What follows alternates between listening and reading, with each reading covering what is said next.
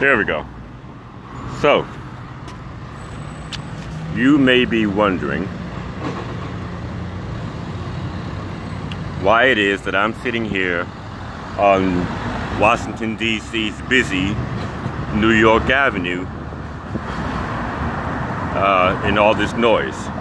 Well, reason number one is that I finally found a shady spot where I can sit and shoot this video right under a, a nice big tree here.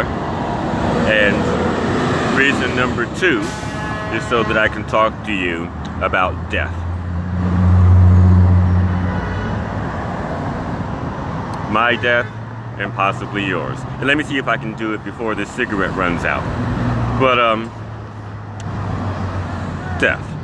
So, you may have noticed uh, I, I posted some videos on Facebook recently. Uh, one of them that I posted yesterday is from about two years ago. And then I posted a video that I made yesterday. And I couldn't help but notice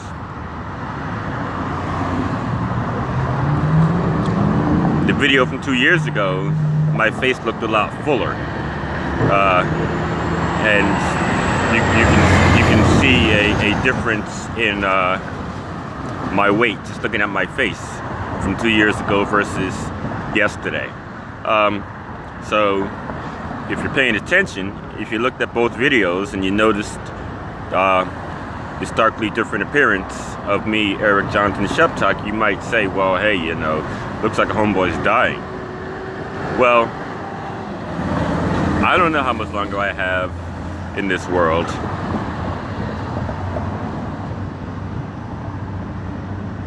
I don't think any of us know just how long we have to live. Unless maybe you're deathly ill, uh, lying on a hospital bed or at home in hospice. Um, so, and I'm not gonna do it before I finish the cigarette, I see that. But um, anyway, we don't know how long we have in most instances. Uh, you could have a car crash tomorrow and be out of here even though you were in good health. Uh, you could have a prolonged illness.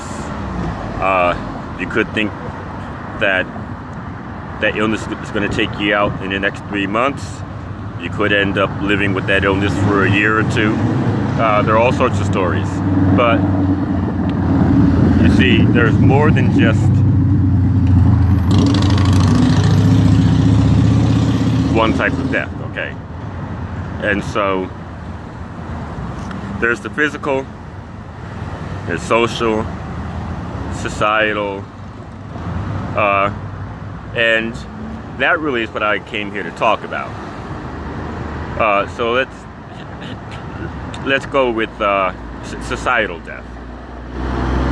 So a few years ago, I read an article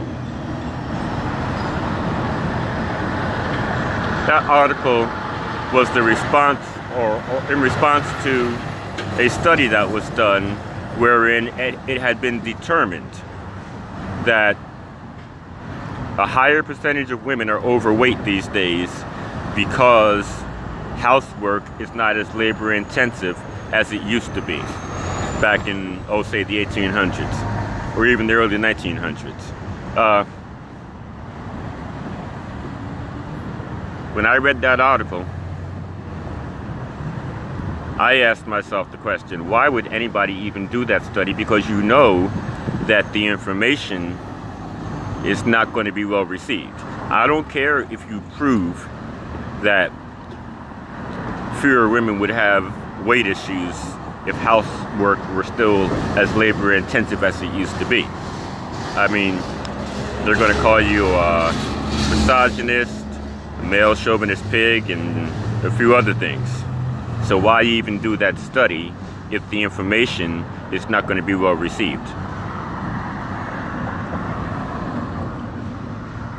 Yesterday, uh, Monday, August 6th, 2018, I read an article in DC's Express newspaper uh, it too had to do with information that would not be well received.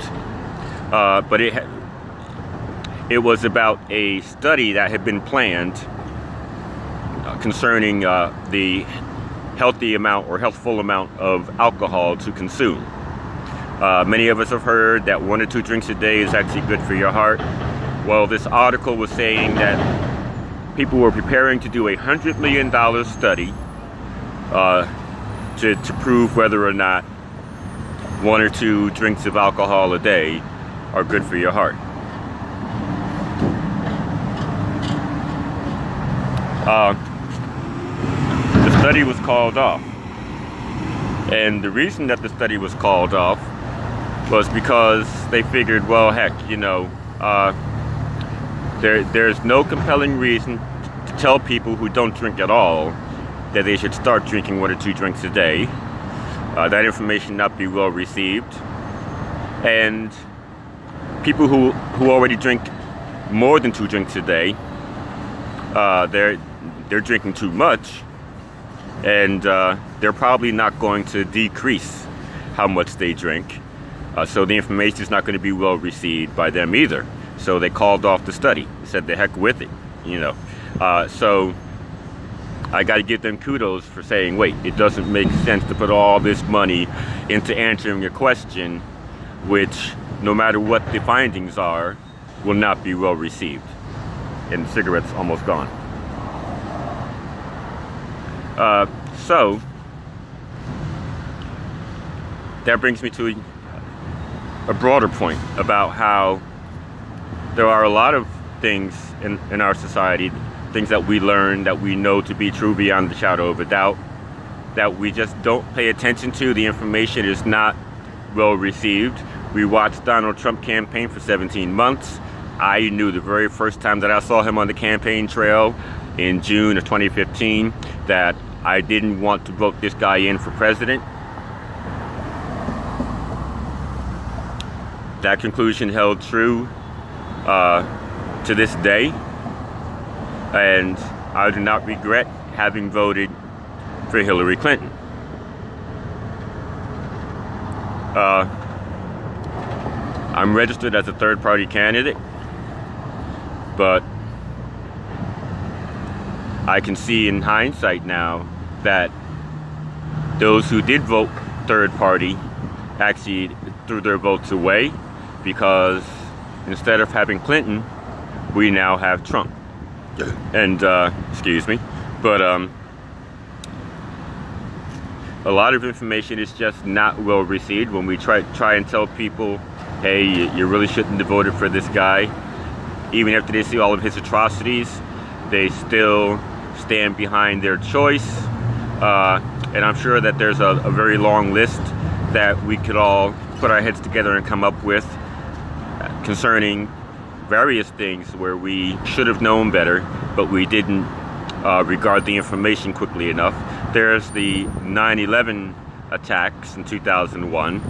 Uh, we had all kinds of information, uh, and we didn't follow through on that information quickly enough. And the attack happened, okay, or the attacks happened, I should say, and and uh,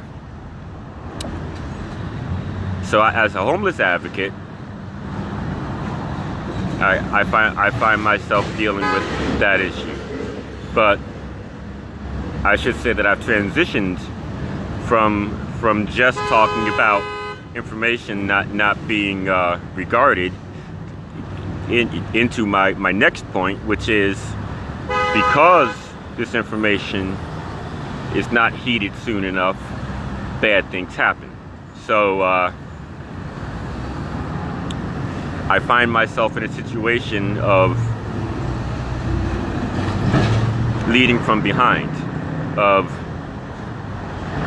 of being the caboose rather than the lead engine, of of saying, "Hey, look, I told you so," uh, and and of prepping people for that moment when I'll say, I told you so. Uh, so as a homeless advocate, as I started to say a minute ago, hey, what's up, man? Uh, I find myself warning folk and saying, look, uh, the CCNV shelter that is the Community for Creative Nonviolence homeless shelter here in DC, is right across the road from a major development that could be finished as early as 2023, even though the due date for Capitol Crossing is 2025. Uh, so the CCNV shelter, which holds approximately a thousand people, will probably be history by the end of 2022. And uh, there is an occasional violent episode there. Uh, and I personally would say that an occasional uh, violent episode is not reason enough to shut down a thousand person shelter because then for the sake of one or two people you you uh, endanger a thousand people so so let's not make any rash decisions here and on top of that I would also say that all of the acts of violence at the shelter are the result of arguments. They're not random acts of violence. We don't have people just uh, coming up and doing these unprovoked attacks. So as long as you're not arguing with anybody, there's a 99.99% chance that you'll be okay. Um, but that said, you know, it's going to take four more years before I can say, I told you so. Before the shelter is completely shut down. And I can let this truck pass me. And, and so what I need are some shorter, shorter term I told you so moments. And maybe if uh, if I prove to be right on some shorter term I told you so instance, then uh, people might say, okay, this guy really knows what he's talking about, and they and they might say, okay, well let let me follow his lead, you know. And, and I hate to say it, but it takes these catastrophes to really wake people up. And in hindsight, I regret that I was not in DC a few years earlier. Uh, I came to DC in the summer of 2005. I, I just made 13 years. Uh, I started advocating in the summer of 2006. And uh, the fear from 9-11 had uh, morphed. So I won't say that it went away. We do live in a very fearful society these days.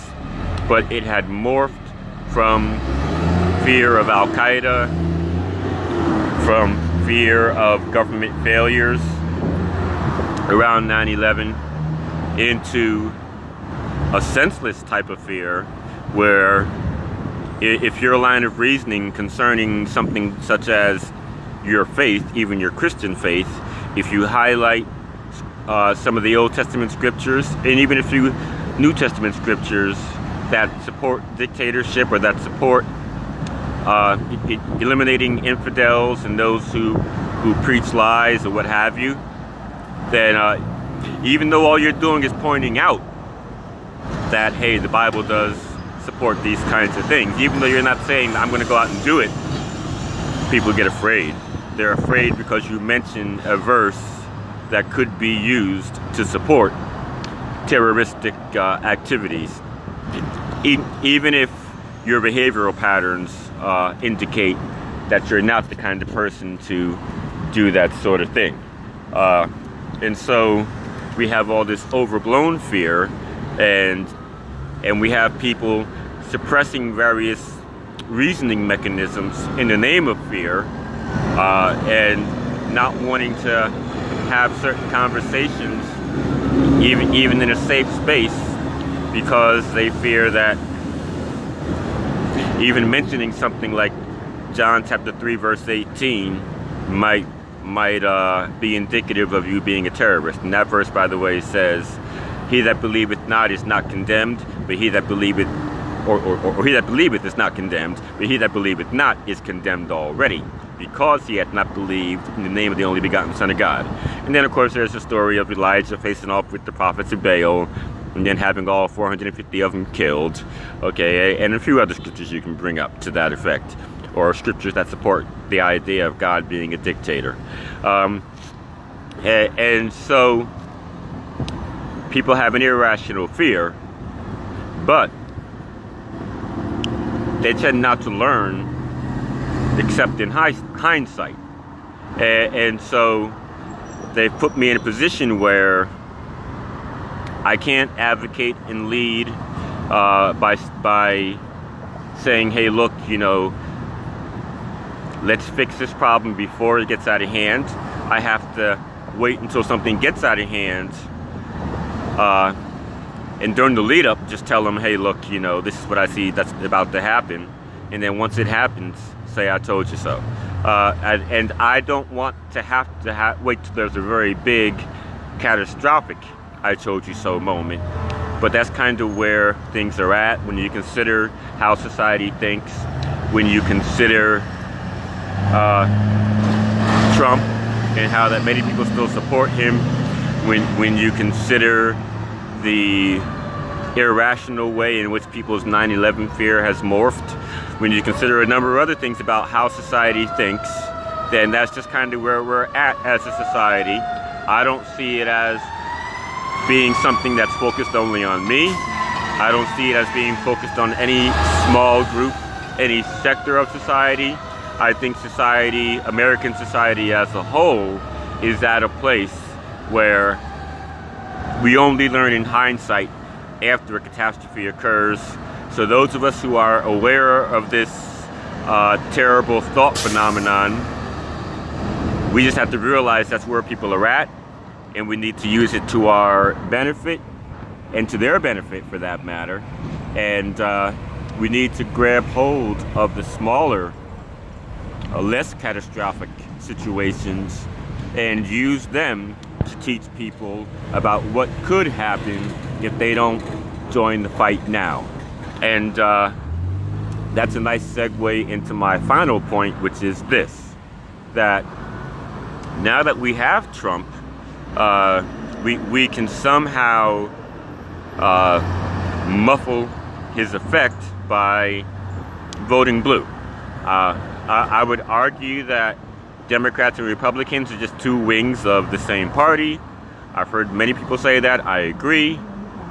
But let's use this uh, multifaceted parties infighting, the Democrats versus Republicans, to our advantage. So I'm not saying that they're separate parties. I acknowledge that they're the same capitalistic party. But since they are always doing this infighting, which is often referred to as bipartisanship, uh, let's use that infighting, let's use that Democrat versus Republican dynamic to lessen the negative effects of Trump for the, for the remainder of his term. Uh, let's hope that he has a heart attack or some other fatal health issue so he doesn't finish his four years. And uh, let's think about what, what we want our 46 to be. Do you want our 46 to be Pence? Or uh, are, are you hoping that Trump will kick the bucket from, from a heart attack, that Pence will, will have been indicted by that time, and that will end up with somebody else as president. Who's your 46? But since we see the harm that Trump has done and continues to do, then let's uh, vote blue. Let's vote for the other wing of this capitalist American party. Uh, and, and let's make sure that Trump is not able to push his agenda through at a very fast pace for his, his final two years. And, and uh, like I said, let's hope that it's not uh, the full four-year term. But that said, uh, society is at a place where we only learn in hindsight. Uh, we're not we're not analytical enough as a society to predict major problems and avoid them. So everybody, let's just grab hold of these different size catastrophes, especially the smaller ones, and use them to show people that, hey, I know what I'm talking about, and if you don't listen to what I'm saying now, you're going to have something worse very soon. All right, goodbye.